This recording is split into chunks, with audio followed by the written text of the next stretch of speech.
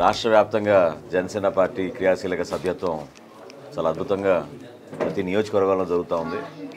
తెనాలి నియోజకవర్గంలో నిన్న ప్రత్యేకంగా నిన్న రాత్రి కొలిపరి మండలంలో దాదాపు ఎనిమిది గ్రామాల్లో మేము అందరం పర్యటించి అనేక మంది సామాన్యులు పార్టీ పైన ఉన్న అభిమానంతో పవన్ కళ్యాణ్ గారి సిద్ధాంతాలు నచ్చి క్రియాశీలక సభ్యులుగా చాలామంది చేరుతున్నారు. ఇది చాలా మంచి సందేశం కూడా మేము అందించగలుగుతున్నాం రాష్ట్రానికి. ఎందుకంటే భవిష్యత్తులో వర్తమాన రాజకీయాలు ఏ విధంగా ఉండబోతున్నాయి? ఒక రాజకీయ పార్టీ ఒక బాధ్యతతోటి మేము చేసే కార్యక్రమాలు పార్టీ కోసమే కాదు పార్టీ శ్రేణుల కోసమే కాదు ఇది రాష్ట్ర ప్రజల కోసం రాష్ట్రంలో ఒక మార్పు కోసం అనేది ఒక చక్కటి సంకేతం ఈ క్రియాశీలక సభ్యత్వం ద్వారా రాష్ట్రవ్యాప్తంగా తీసుకెళ్ళగలుగుతాం. అనేక మంది మహిళలు ప్రత్యేకంగా పార్టీని చాలా బలంగా ఆదరించి మోసి పార్టీ కోసం పాపం వాళ్ళ వంతు వాళ్ళు కృషి చేసి చేస్తున్నారు. చాలామంది వాలంటీర్లు కూడా ఇప్పుడే వంద సభ్యత్వం ఒక వాలంటీర్ మన రవికాంత్ పూర్తి చేశాడు.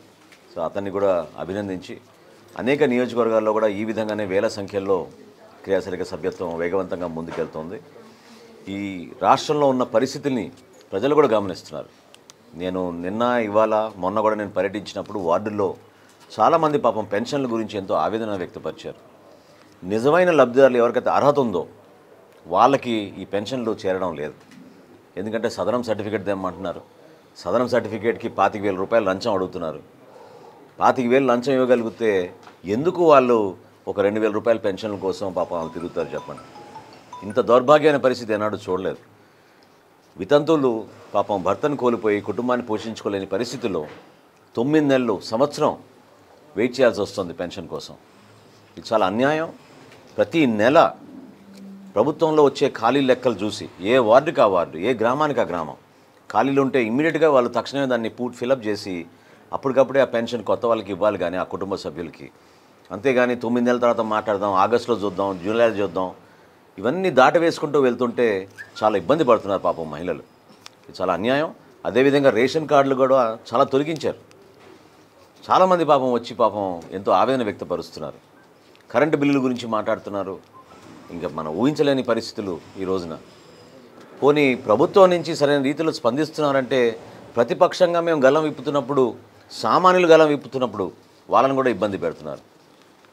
మీరందరూ కూడా చూశారు మా ప్రధాన కార్యదర్శి యశస్విని గారు విజయనగరం పట్టణంలో నలభై వార్డులో పేదవాళ్ళ ఇల్లు కూల్ చేస్తుంటే ఎందుకు నోటీస్ ఇవ్వకుండా కూల్చారంటే ఆమె పైన ఎస్సీ ఎస్టీ అట్రాసిటీ యాక్ట్ కింద కేసు పెట్టారు.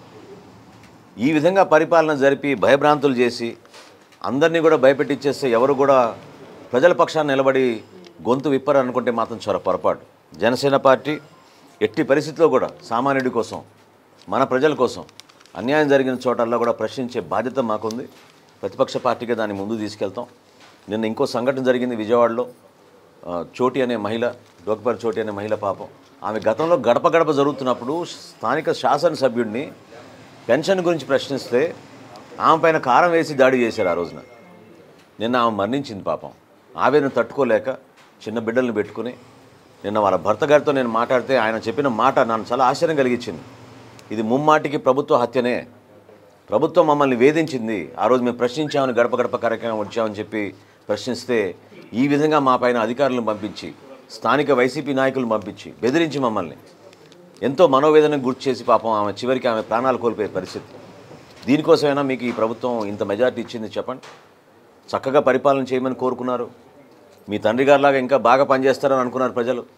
అంతేగాని నూట యాభై ఒక్క స్థానాలు మీకు కల్పించింది దౌర్జన్యాల కోసం దాష్టికాల కోసం ప్రజల్ని బెదిరించడానికి కోసం కేసులు పెట్టడం కోసం మాత్రం కాదు.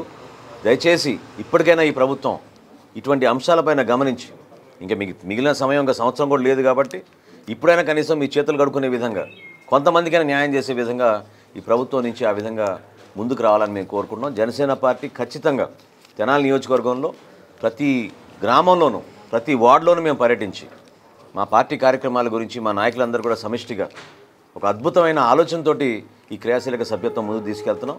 అందులో ప్రతి ఒక్కరిని భాగస్వాములు అవ్వమని మేము కూడా పార్టీ పరంగా ప్రజలకి అండగా నిలబడతామని ఈ సందర్భంగా తెలుపుకుంటున్నాం. కనీసం కనీసం రోడ్లు వేయలేని ముఖ్యమంత్రి రాజధానుల గురించి మాట్లాడుతున్నారు.